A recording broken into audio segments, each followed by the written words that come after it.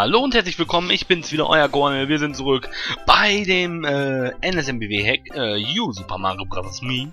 Und äh, in die Kanone gehen wir noch nicht. Ich weiß nicht, ob da irgendwas geändert wurde. Ich denke nicht. Wir gehen jetzt in, das, in den Turm. Richtig, wir gehen in den Turm. Und ich bin sehr, sehr gespannt, ähm, was dort auf uns wartet. Äh, so. Ich, äh, meine Handgelenkschlaufe ist... Ich mache sie mir gerade drum, ja, tatsächlich. Warum mache ich sie mir drum? Drum, weil sie mich einfach... Hilfe! Wo kommt der bob her, Alter? Weil sie mich einfach nervt, wenn ich, äh, wenn sie da so rumschlabbert. Ja. Das tut sie einfach. Das ist, ist jetzt so ein Fact, den müsst ihr jetzt einfach äh, akzeptieren. Ja, das ist, ist, ist einfach so. Selber schuld oder so ähnlich. Gut, wir sind hier im Turm und äh, ich habe keine Ahnung. Ich, ich kenne diesen Turm nicht, ich habe ihn noch nie gesehen. Ich bin sehr gespannt, ob wir die Sternmünzen finden. Das Doofe an solchen Türmen ist ja immer hier so dieser Abschnitt, wenn es hier so ein abschließendes Element gibt, wo du nicht mehr zurückkommst. Warum ist es doof? Weil du halt einfach dann, ne, wenn du was verpasst hast, du hast keine Chance mehr es äh, wiederzuholen, außer du stirbst oder du machst das Level irgendwann noch einmal. Aber so wie es aussieht, ist hier nichts. Ich glaube, ich habe alles. Ich glaube, ich habe alles nachgeguckt und äh, das sollte dann auch alles so in Ordnung sein. Ja, das war äh, ein wenig offensichtlich, würde ich jetzt einfach mal sagen. Äh, soll ich euch einen Schwang aus meiner Jugend erzählen? Jugend. Ah. Ich, äh, ich bin noch in, in meiner Jugend, würde ich einfach mal ganz hart be Ja gut, ich bin 22. Ich bin ich noch ein Erwachsener, äh, bin ich schon ein großer Erwachsener oder bin ich noch, kann ich noch als äh, als kleines Kind durchgehen mit 22? Ich denke, ich denke mit 22 ist man noch nicht erwachsen, oder? Nee, da gibt's andere andere Jahreszahlen, wo man dann vielleicht mal darüber nachdenken sollte. Äh, wobei ich der Meinung bin, ob, ob erwachsen, ob Kind, das ist sowieso nicht so ein großer Unterschied. Ne, ich, ich, ich finde nicht, man kann mit Kindern durchaus auch intellektuell hochwertig arbeiten und es gibt auch Erwachsene, mit denen man das nicht kann. Und äh, ich will gar nicht behaupten, dass ich auch immer be beurteilen kann, was intellektuell hochwertig ist. Das liegt sowieso in meinem Auge des Betrachters. Und äh, ja, deswegen, ne? So, hier ist auch nichts. Jetzt natürlich nur die Frage, Hm, okay, hier ist nur das Item, oder was? Oh, ein Stern. Oh nein. Hoffentlich brauchen wir den jetzt nicht. Das ist natürlich unfair. Ja, also auf dem ersten Blick macht das hier halt den Eindruck, hier links kriegst du ein Item. Willst du es haben oder willst du Risiko nehmen und vielleicht eine Sternmünze kriegen oder so? Ja, das ist ein bisschen doof jetzt gewesen. Ich hoffe, den Stern brauchen wir nicht für irgendwas äh, elementar Wichtiges. Aber ich glaube es fast, ja. Ich glaube es fast. Oh, immer diese Doppelwege, wo du halt auch... Okay, da ist die Sternmünze. Hilfe. Okay. Ja, keine Ahnung. Ich, ich fühle mich noch nicht als unbedingt großartig Erwachsener. Aber ich weiß auch nicht, wie ich mich jemals äh, da fühlen soll. Das ist sowieso immer so eine Frage. Wenn ihr alte Menschen im Bus, im Zug, in der Stadt seht oder so, alte Menschen haben ja immer so eine alte Menschen-Attitüde, ne? So, die sind nie richtig cool, so. Äh, ich weiß es nicht. Hm, aber die haben halt immer so die alte Menschen-Attitüde. Weil, wisst ihr, was ich damit meine? Man weiß halt, man sieht, oder man, man bekommt mit, dass es ein alter, alter Mensch. Weil der redet einfach so in diesem, weißt du, man, der ist schon wie, wie alte Menschen reden. Das ist ja nichts Negatives. Ich glaube, ich hab's verkackt. Das ist ja überhaupt nichts Negatives oder so, aber es ist halt einfach auffällig, ne? Das merkst du sofort, die reden anders. Das ist ein bisschen so und ich frage mich immer, boah, ob ich auch mal so werde oder ob ich vielleicht äh, dann doch eher so, weißt du, kann ich mit 80 noch so reden, wie ich jetzt rede? So, yeah, what's going on, baby? Wollen wir mal eine Nacht miteinander, ne? Hüp, hüp, hüp. Wenn er kommt, schreit er Juhu und so.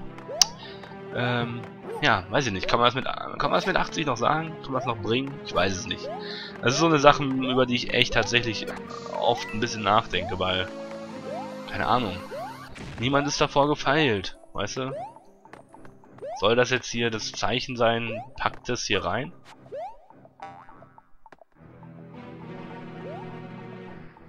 Hä? Okay, da ist irgendwas.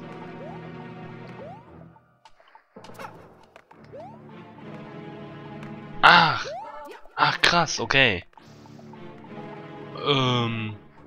Gibt's hier ein Secret Exit oder ist es jetzt für die Sternmünze? Krass, okay. Gut, Sternmünze. Ähm, ihr habt das vielleicht nicht, also nicht so gut mitbekommen. Ich bin dann mit dem Trampolin hochgesprungen und war dann da oben auf irgendeiner Plattform. Und äh, links, ne, rechts bin ich halt wieder runtergefallen und ich wusste nicht genau, was ich da machen soll. Äh, man musste einfach nach links laufen. Das, und dann kam man halt da links, ist man da runtergefallen. Gut, wir haben alle drei Sternmünzen. Ich äh, gehe jetzt einfach mal davon aus, dass wir hier keinen Secret Exit erwarten dürfen, weil ich glaube, hier gibt es auch im Original keinen und dann gibt es hier auch keinen. Ich glaube, so weit ist dann die, äh, die Hacking-Methode noch nicht, dass man hier auch äh, optionale Wege und so einbauen kann. Der Hack hat übrigens 10 Level, für alle, die es vielleicht nicht mitbekommen haben. Ich bin mir relativ sicher, dass ich das im ersten Part erzählt habe, aber für alle, die es nicht mitbekommen haben, der Hack hat 10 Level. Das ist jetzt Level 4. Das heißt, nach dem Level haben wir prinzipiell noch 6 Level, wenn alles mit rechten uh, Dingen zugeht und Okay, interessant. Der Bossfight wurde nicht element... Nein! Ah, ah, das... Das ist mir doch... Ist mir das nicht beim letzten NSMBW-Hack auch passiert? War ich da sogar bei dem gleichen Boss? Oder vertue ich mich da jetzt? Ich, ich weiß es nicht mehr genau. Ich weiß es nicht mehr genau. Ich glaube, das ist mir vor kurzem schon mal passiert. Ist auch echt doof ein bisschen, ne? Ja, ich wollte gerade sagen, der macht es ein bisschen schwieriger, äh, nicht elementar, aber ein bisschen und zack, was passiert? Ich faile erstmal, weil ich äh, die Lücke nicht gesehen habe, den Abgrund. Ja, das ist war, war natürlich mal wieder typisch. Ungefähr so musste das passieren. Naja, ist egal. Die Mittellinie ist relativ nah beim Boss. Wir sind hier direkt bei der dritten Sternmünze. Können die einsammeln, können zum Boss und äh, jetzt werden wir ihn wahrscheinlich auch besiegen, weil jetzt wissen wir wieder, da ist eine Lücke. Da sollten wir nicht runterfallen. Ja, das hier dürfte jetzt wirklich gar kein Problem mehr sein. War hier ein Item drin? Nein, aber oben haben wir noch ein Item. Und äh, wir nehmen jetzt mal einfach... Fuck! Ist auch egal.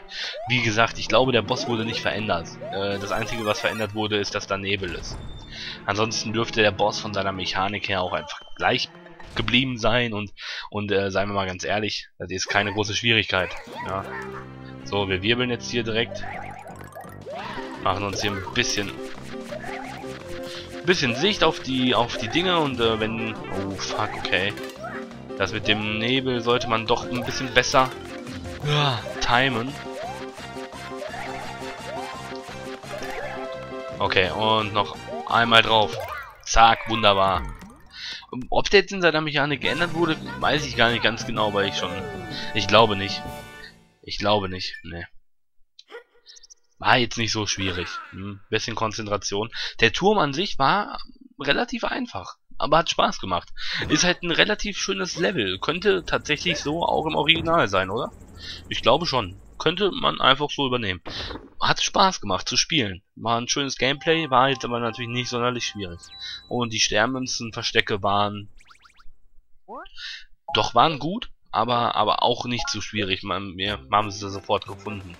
Das spricht dann eigentlich für sich, ja. Gut, gehen wir ins nächste Level. Wir haben noch genug Zeit. Und äh, schauen uns einfach mal an, was hier so abgeht. Ich habe gerade... Ich weiß nicht genau, woran das liegt. Ich habe gerade überhaupt gar nicht auf die Musik geachtet und ich kann jetzt euch überhaupt gar... Ich kann euch nicht mit vorsingen, was da für Musik war. Ja, ich weiß es nicht mehr. Aber ich kann euch sagen, hier habe ich sofort die Musik gehört. Ich habe es noch relativ leise auf dem Ohr. Das ist vielleicht äh, auch dann ein bisschen böse dem Turm gegenüber, weil er da vielleicht tatsächlich gar nichts für kann. Das war sehr gut von mir. Das war quasi wunderbar. Ja, dass der Turm da gar nicht viel für kann. Ähm, aber ja, die Musik ist mir halt auch nicht aufgefallen. Ne? Ist mir einfach auch nicht aufgefallen.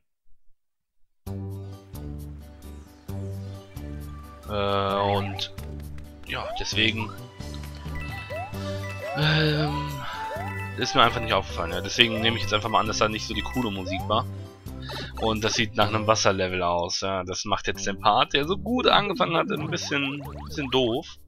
Aber mit Wasserlevel muss man ja auch umgehen können in einem Mario. Ja, das bleibt nicht aus. Und, und wenn sie gut gemacht sind, die können auch Spaß machen irgendwie. Aber oft machen sie es nicht. Ja, und da spreche ich äh, nicht nur von Hex, da spreche ich auch vom originalen SMB, äh, äh, vom originalen Mario-Spiel. Manchmal machen die einfach keinen Spaß. So, das Wasserlevel sieht jetzt hier auch nach einer mega großen Sache aus. Da unten ist ein Ex... Ah, okay. Ich habe letztens gefragt, was ist denn das auf dem Extra-Leben? Ja, das ist tatsächlich ein Herz. Das ist ein schönes Herz. Ich schenke dieses Herz. Ja, ich schenke diesen, dieses Herz niemandem, weil niemand mein Herz will. Weißt du, wenn ich jemandem ein Herz schenken würde, würde sich niemand drüber freuen. Ich sagen würde, hier, da bist du ganz tief drin in meinem Herzen. Niemand würde sich freuen. Niemand würde sagen, komm, küss mich. Niemand. Es ist, es ist traurig. Es ist traurig, weißt du, das ist, das ist traurig.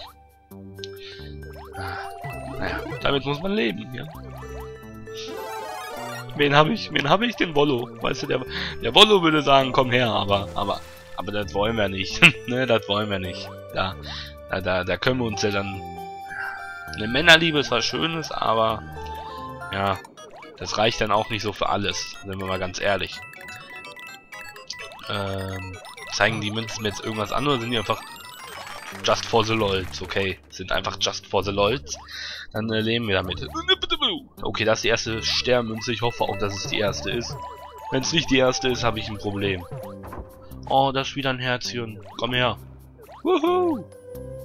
Ich komme nicht an das Herz ran, aber daran bin ich ja gewöhnt. Ich komme nie an die Herzen ran. Okay, hören wir jetzt auf damit. Hören wir einfach. Es macht mich depressiv, dieses Thema. Wir sollten das besser lassen. WTF, Alter. Geht jetzt hier irgendwas auf? Boah, das ist schon ein bisschen cool mit diesen Schaltern, dass dann einfach was kaputt geht, oder?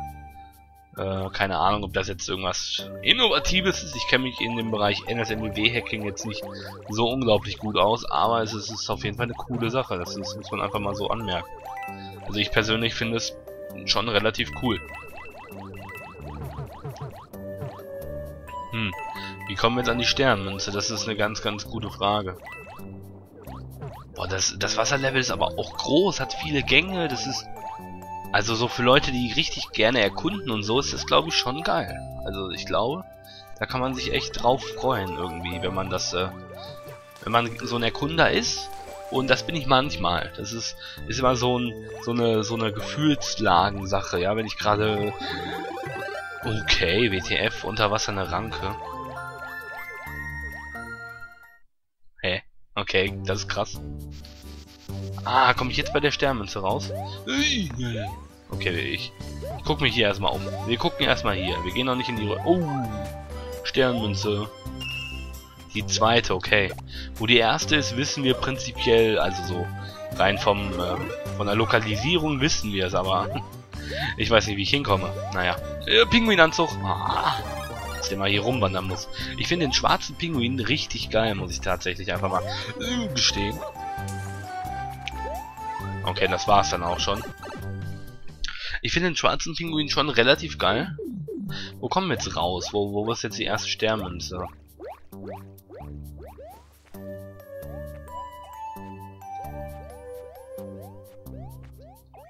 Okay, ich hänge da irgendwo fest. Auf jeden Fall ging es da nicht weiter. Zumindest glaube ich das. Hm. Ja, die erste Sternmünze. Wo ist die erste Sternmünze? Das ist jetzt eine gute Frage. Ich glaube, hier war die Ranke drin. Ähm, ja, ziemlich sicher war hier die... Ja, da waren wir. So, jetzt müssen wir hier irgendwie... Komme ich hier jetzt bei der blauen Röhre raus? Das wäre natürlich relativ cool, weil dann hätte ich einfach beide. Wunderbar. Ja, sehr schön. Sehr schön. Wunderbar. Es, es, läuft gut in dem Part. Es ist, es ist schön. Wir können die Level erkunden. Das Level ist auch wirklich was zum Erkunden. Ich habe das bereits erwähnt. Es macht auch, es macht tatsächlich doch ein bisschen Spaß hier so unter Wasser. Jetzt auch mit dem Pinguinanzug. Man kann ganz gut äh, schwimmen. Das ist was äh, sehr Positives. Es macht es auch ein bisschen schneller, rasanter. Das ist auch was Positives. Und cool. Ich weiß jetzt nicht so genau, was das äh, für Nutzen haben sollte, aber was soll's. Entschuldigung. Jetzt haben wir nur irgendwie die Mittellinie verpasst. Dabei habe ich die doch schon mal gesehen. Naja, egal. Ist nicht so schlimm. Weil prinzipiell brauchen wir die ja nicht. Wir brauchen nur die dritte Sternmünze und das Ziel. Hm, ist das ein Level mit Secret Exit? Ich, uh, ich glaube nicht äh, nicht zu voreilig in irgendwelche Röhren hinein.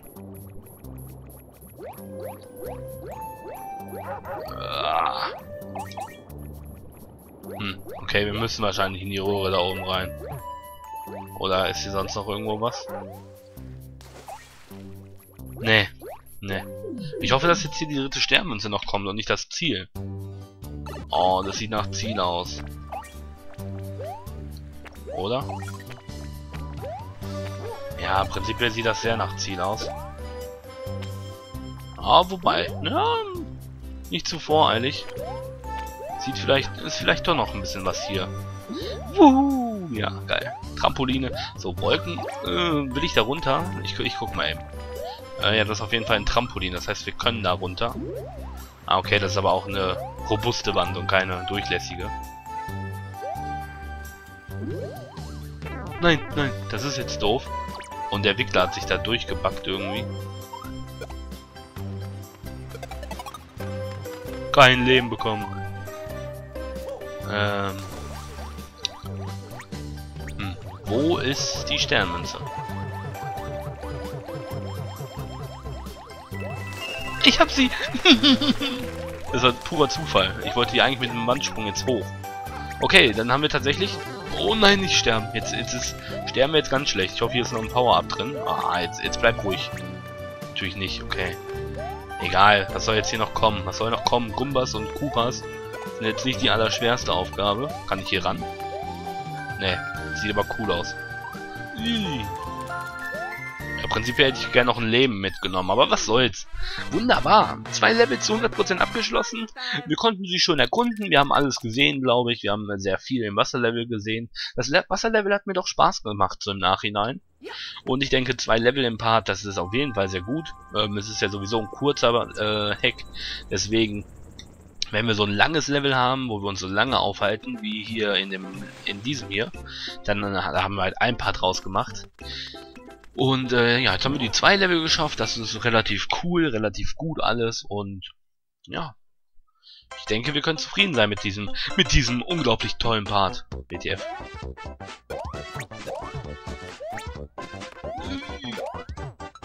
Geile Musik auf jeden Fall. Ist ein bisschen komisch, dass es ein Gumba auf der Overworld war und hier jetzt äh, die diese diese Krabben. Aber es war wahrscheinlich nicht anders umsetzbar. Wahrscheinlich konnte man den Sprite von dem Gumba nicht, nicht ändern. So, jetzt haben wir hier noch zwei Level und die Burg. Jetzt kann ich mal kurz nachzählen. Eins, zwei, drei. Also das sind noch drei Level. Vier Level, fünf Level, sechs Level, sieben Level, acht Level. Dann haben wir wahrscheinlich noch ein Level in der Special World und ja, vielleicht am Ende der Kanone oder so. Sollten 10 sein, ich weiß es noch nicht. Hm, ich gehe jetzt einfach mal davon aus, dass wir im nächsten Part eventuell sogar beide schaffen. 1,5 und 1,6 oder 7, äh, oder 4. 1,6. 1,5 und 1,6 im nächsten Part. Ich werde mit 1,5 anfangen. Dann das Schloss könnte vielleicht ein ganzer Part werden. Und dann gucken wir mal, wo die anderen zwei verbliebenen Level noch sind. Ich hoffe, der Hack, äh, ich hoffe, der Hack macht euch Spaß. Ich hoffe, ihr habt Spaß äh, und könnt ihn genauso wie ich blind erleben. Und äh, exklusiv bei Cornell ist der Wahnsinn, oder? Tschüss und bis dann. Ciao, auf Wiedersehen. seen.